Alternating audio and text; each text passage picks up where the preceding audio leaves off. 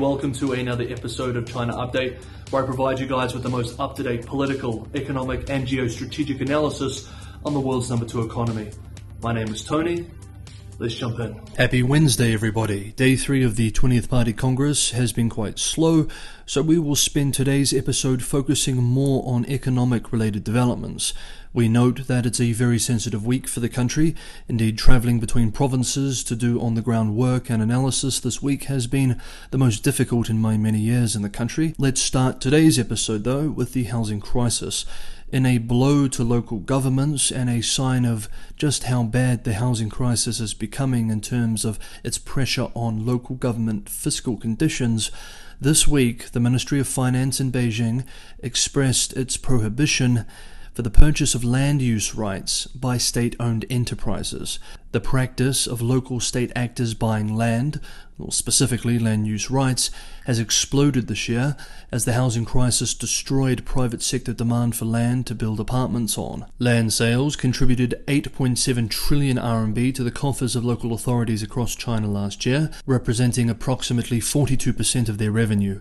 However, as we saw this year, in the first nine months of 2022, these numbers plunged over 60%.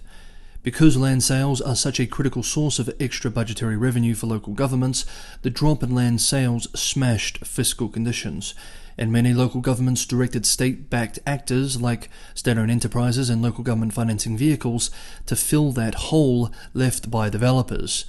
This was always unsustainable and will certainly be slowing down now, however. The Ministry of Finance, in a stern warning, described the practice as a sham, expressing earlier this week, quote, Local government should not increase land revenue in a sham way on the backs of government backed companies to remedy local coffers.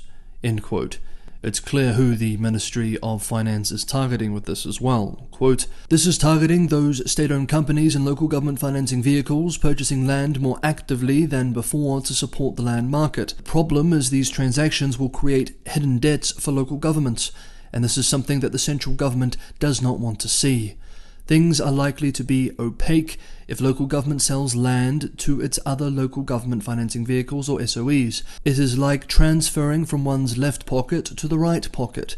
The financing vehicles can borrow from local banks for land purchase, and local governments may be liable for them indirectly through implicit guarantees. It means local governments are effectively borrowing more, and this will put more pressure on the country's fiscal system in a hidden manner. End quote. Other commentators argue that while this Ministry of Finance move to prohibit this practice is the right one, it still doesn't address the original problem. Quote, allowing local governments to reverse the decline in land sale revenues by setting up special purpose vehicles to buy land from themselves was simply a way for them to borrow money and pretend the proceeds were actually land sales revenues. This was extremely risky because, among other things, it meant that local governments were effectively doubling down on their already excessive exposure to the real estate market. The Ministry of Finance was absolutely right to clamp down on this practice. But local governments are desperate their revenues have dropped sharply, even as their expense has risen. What is more, they are expected to fund a wave of growth next year. The Ministry of Finance stopped them from faking revenues without addressing the reasons they had to do so. Beijing must know how difficult the circumstances are that local governments face, and yet isn't doing much to help. I think we are probably seeing the beginning of what over the next few years will be a very contentious relationship between local governments and Beijing. Meanwhile, in staying on our theme of the housing crisis, this week Chinese junk dollar bonds have dropped to a record low. According to a Bloomberg index, the junk dollar notes, dominated by real estate firms, fell 0.3 cents on the dollar to 55.7 cents on Monday this week, below the previous low of 56 cents on the dollar in August. The post August rally, sparked by government statements of support, has thus faded. Bloomberg writes that investors have been on the lookout for further policy steps after builders stalled many projects amid a persistent slump in housing sales. But recent developments have shown that even efforts the market had initially cheered are not by themselves enough to soften the pain. The outlet gives the example of Shanghai based CIFI Holdings Group, which defaulted earlier this month when it failed to pay a coupon on a Hong Kong dollar convertible bond. That was particularly worrying because, quote, the firm was considered a barometer for the broader success of a new rescue effort by Beijing that emerged in August to use state guarantees to help a select group of developers access domestic funding. End quote. Share prices of Chinese developers are also suffering. A Bloomberg intelligence gauge of the sector reached its lowest point since January 2012 last week.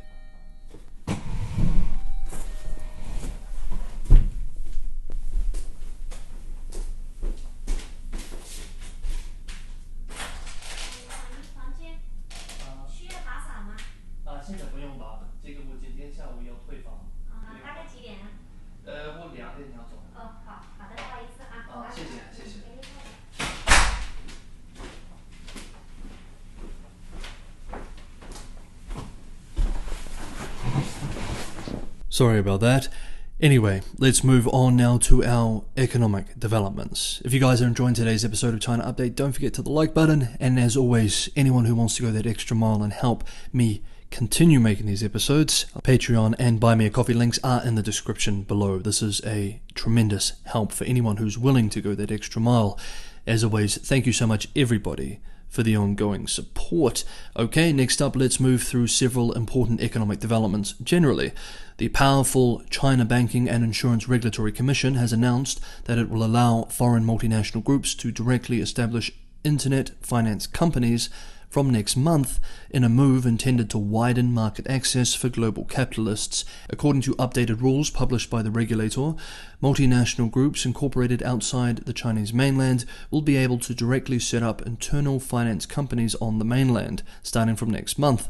Under the old rules passed in 2006, foreign investors first needed to establish a wholly owned subsidiary on the mainland and then set up an internal finance company. Due to the awkwardness and uncertainty of the older requirements, only a small handful of international firms ended up establishing internal finance companies in China. These included Germany's Siemens and Japan's Panasonic. It is hoped that the new rules will increase this number and increase competition in the growing industry. Next up, troubled mega conglomerate Fosun, or Fuxing in Mandarin, which we have been following for about a month now, is planning to direct its subsidiary, Fosun International Limited, to sell its stake in a Chinese steelmaker to a private metals giant for around 15 billion RMB, or 2.1 billion US dollars. Chinese financial media outlet Yicai, which broke the story yesterday, writes that Fosun International Limited will transfer its 60% shareholding in Nanjing Iron and Steel United Co. Another Chinese financial media outlet, Caixin, also writes this week, quote, Fosun has cut holdings in at least eight listed companies this year and will have cashed out nearly 40 billion yuan. The conglomerate has come under mounting pressure from its huge debt pile as its liquidity was hit by the declining property market and weak retail consumption. Fosun operates a wide variety of businesses, which range from real estate development and tourism to pharmaceuticals and consumer products. By the end of June, its short term borrowings had ballooned 29% year on year to 123 billion RMB, surpassing the firm's cash and cash equivalents. Net profit attributable to shareholders fell 32.8% year on year in the first half of 2022. And finally, for today, let's step back and look at the wider economy as a whole.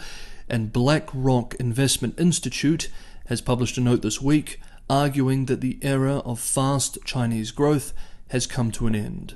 Quote, the Chinese economy grew apace in the 10 years prior to the pandemic by 7.7% on average each year, but it now faces a set of acute challenges that, in our view, mean it's entering a stage of significantly slower growth. The big focus on COVID related ups and downs in activity ignores another underlying issue that, we think, will significantly challenge Chinese growth next year and beyond. End quote.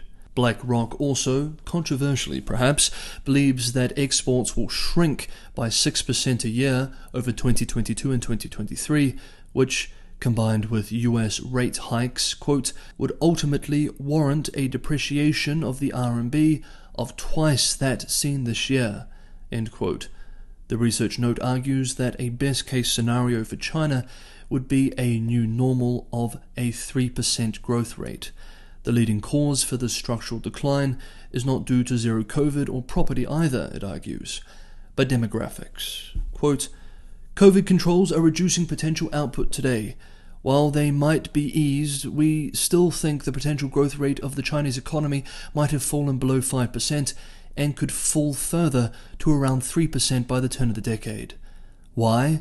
Most importantly, the working age population, having grown rapidly, is now shrinking. Fewer workers mean the economy cannot produce as much without generating inflation unless productivity growth accelerates but we think international trade and tech restrictions, as well as tighter regulations on companies operating in China, will dampen productivity growth.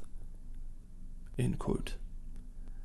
Okay, that is today's episode of China Update. Thank you so much, everybody, for watching. I will see you all tomorrow.